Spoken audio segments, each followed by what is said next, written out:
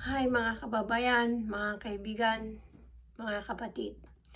Thank you sa yung uh, sa yung panunood ng aking video at uh, ang ating Panginoon ang siyang mag-bless sa inyong lahat. At ako naman ay uh, sa, araw, uh, sa araw na ito gusto kong mag-react uh, sa video ni uh, David, uh, Dave, si Dave na pinakamamahal ng buong mundo.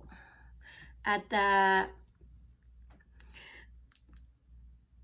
at uh, it, uh, ang gusto kong sabihin uh, uh, bago ako umiyak or hopefully na hindi ako uh, umiyak kasi bago ko ginawa uh, bago ano bago ako humarap ng mag-react o umiyak na ako kasi napanood ko uh, napanood ko na. At uh, ang masasabi ko lang uh, sa reaction na ito ang uh, ang salita ng Diyos ang ma, ang bu, bu, ang buong buo na masasabi ko lang uh, ang regalo ng isang anak sa ama.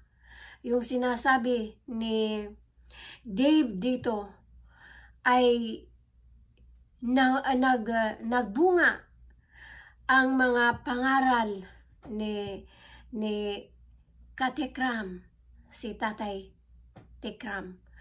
Higit pa sa diamond or gold na ibibigay ng anak sa kanyang tatay na tunay na nagmamahal sa kanya. Kasi kung kukunin sa Biblia, ang kanyang lupang katawan ay minahal niya, minahal ni Katikram. Pangalawa ay ang kanyang spiritual na sa hangarin ng isang ama ay mapupunta rin ang kanyang kaluluwa sa uh, ka, uh, sa mabuting paglalagyan na makikita si Yahuwah or si Yahusha sa sa uh, new have new uh, new earth na uh, i-create. Kasi sabi niya sa old uh, sa new uh, revelation yung new uh, new earth yun talaga ang paglalagyan ng lahat na natira sa white throne judgment.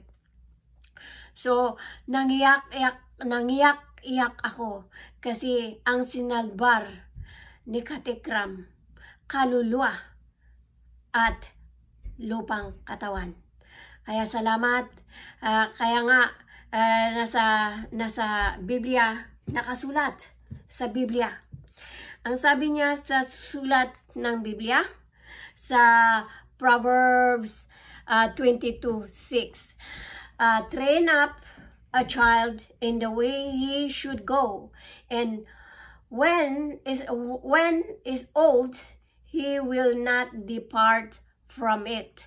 Ayun po ang ginagawa ni Katikram talagang talaga na iniibig or iniibig o minamahal si si Dave ng Dave ng buong mundo sa buong lipo, uh, uh, sang libutan, tama ba yun? Buong mundo na nagmamahal kay Dave. At sa pagdidisiplina niya rin sa uh, sa pag uh, pagpapalo ng puwet nakalaad din sa Biblia sa 2 Samuel 7:14 ang sabi niya sa Biblia I will be his father, and he shall be my son. If he commit iniquity, I will chasten him with the rod. Ayon ang pinag-uusapan na uh, sa previous video na talagang pinalo niya ang kanyang anak na si, Dam, si Dave.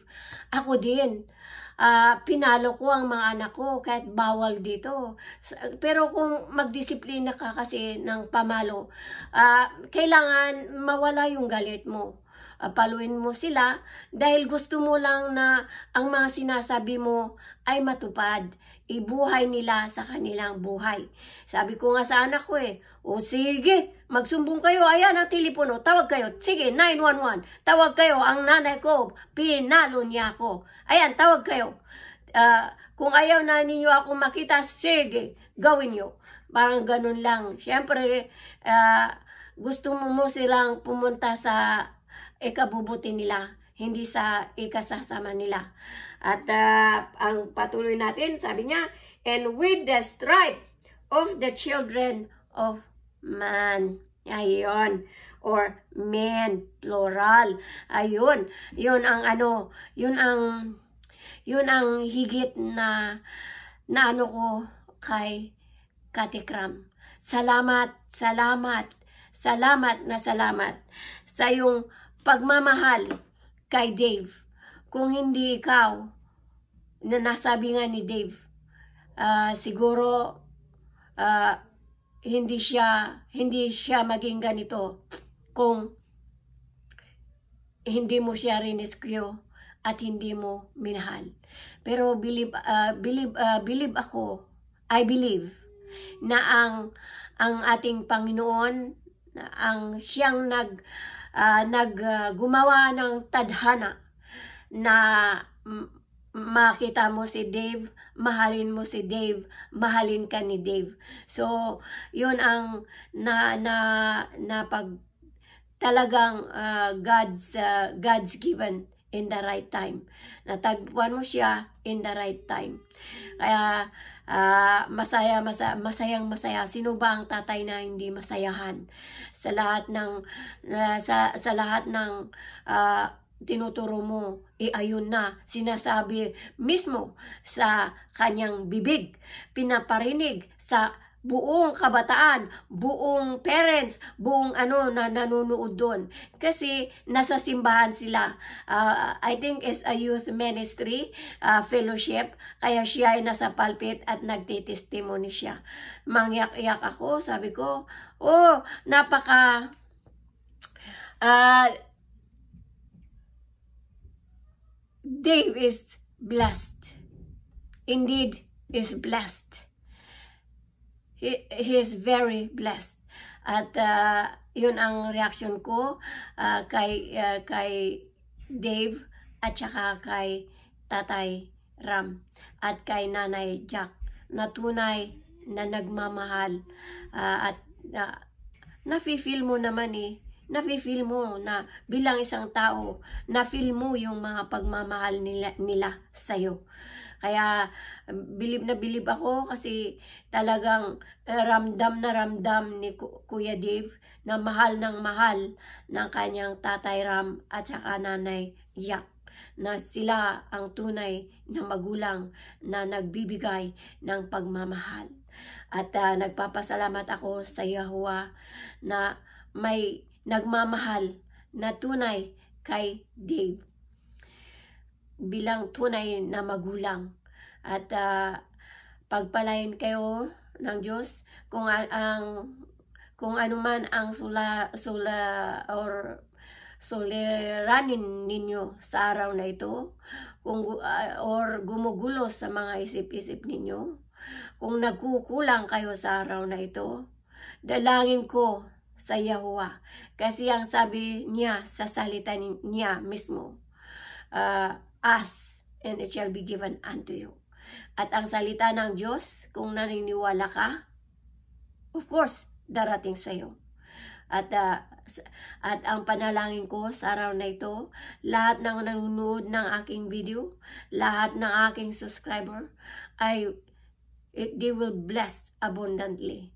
Salamat na salamat sa inyong lahat, mga kapatid, mga kababayan, at mga kaibigan. Please subscribe and like my video. Sayonara. See you again in my next video. Thank you very much. Bye.